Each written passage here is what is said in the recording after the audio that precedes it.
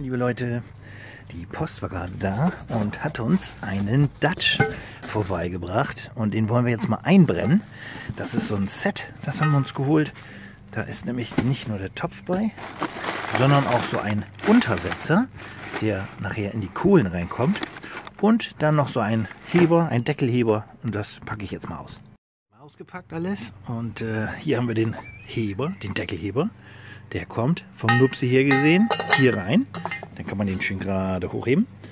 Und den werden wir gleich mal schön mit Sonnenblumenöl einreiben. Und dann kommt er nämlich in den Grill. Ich habe ja schon gesagt, das ist ein Set, was wir uns geholt haben. Da ist dieser Heber mit bei und da ist dieser Untersetzer mit bei. Man kann das nämlich auch separat kaufen, aber wir wollten halt das eben im Set haben. Hier könnt ihr sehen, da steht D09P. Diese Zahl weist meistens darauf hin, dass es sich um einen Volumeninhalt von hier zum Beispiel 9 Litern handelt. Bei manchen Herstellern wird der Deckel, das Deckelvolumen mitgezählt, bei anderen Herstellern wieder nicht. Also das ist ganz unterschiedlich. So kann man auf jeden Fall sagen, dass wir so ungefähr 9 Liter Inhalt haben an Volumen. Vor der Erstbenutzung muss man bei diesen Dutch-Öfen erst immer diesen Einbrennvorgang starten. Den werden wir jetzt vornehmen und dafür brauchen wir hier so ein Papiertaschentuch und wir nehmen Sonnenblumenöl. Man soll kein Olivenöl nehmen, weil man mit diesem Sonnenblumenöl eine höhere Temperatur benutzen kann. Und äh, ansonsten kommt noch in Frage Rapsöl und Kokosöl. Wir haben uns jetzt aber für Sonnenblumenöl entschieden und jetzt werde ich den ganzen Topf und den Deckel von oben bis unten und von innen und außen komplett mit Sonnenblumenöl einreiben. Los geht's. Ruhig einen Schuss rein und dann schön verteilen. Mit Papiertaschentüchern geht das ganz gut.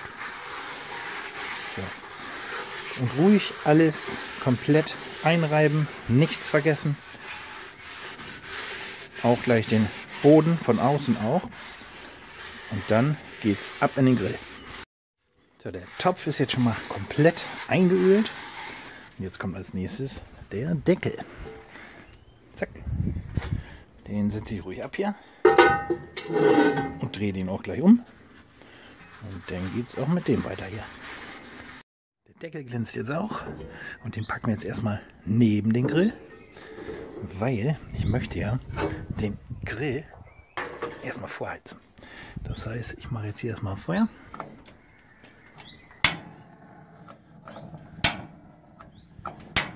Mache den Deckel zu. So, Temperatur von ca. 200 Grad Celsius ist erreicht und wir lassen den Topf bei 200 Grad Celsius für eine Stunde im Grill. Ich kann euch mal ganz kurz zeigen, dieses Öl verdampft jetzt bzw. verbrennt und durch diesen Verbrennungsprozess entsteht nachher diese Patina. Also diese Schicht, die euch nachher äh, davor schützt, dass euer Essen anbrennt. Jetzt muss aber schnell wieder zu. 60 Minuten sind rum und ich mache jetzt mal hier die Flammen aus und wir lassen das Ganze jetzt mal trotzdem erstmal da drin und in Ruhe, ganz in Ruhe abkühlen. Wenn das Ganze einigermaßen abgekühlt ist, können wir das mal hier rausnehmen. Und damit sind wir quasi schon fertig. Was hier gutes Zubehör ist, Grillhandschuhe. Ganz wichtig, weil das Ding wird richtig heiß, auch später, wenn ihr damit Essen zubereitet. Ähm, wenn ihr es jetzt einlagern wollt, dann nehmt euch einfach hier so ein, so ein äh, Papiertaschentuch, packt den Deckel hier drauf und dann kann das Ganze hier so ein bisschen atmen. Das heißt, da kommt Luft dran und dann wird das Ganze auch keine Gerüche entwickeln.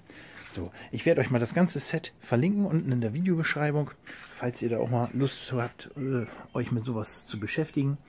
Und äh, hoffe, ich konnte dem einen oder anderen wieder ein bisschen helfen, wie man das Ding einbrennt. Und sage Tschüss, bis zum nächsten Mal.